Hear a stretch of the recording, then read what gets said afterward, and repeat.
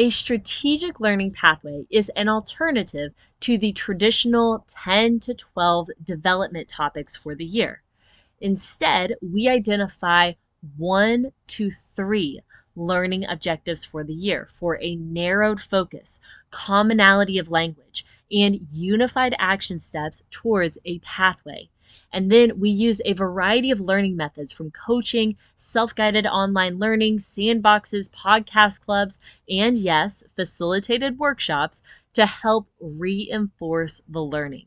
This narrowed focus results in more clear, concise actions, strong measured data, and tangible results. Join me tomorrow as I share what the most requested topic is that we have at the Pathwayz Group.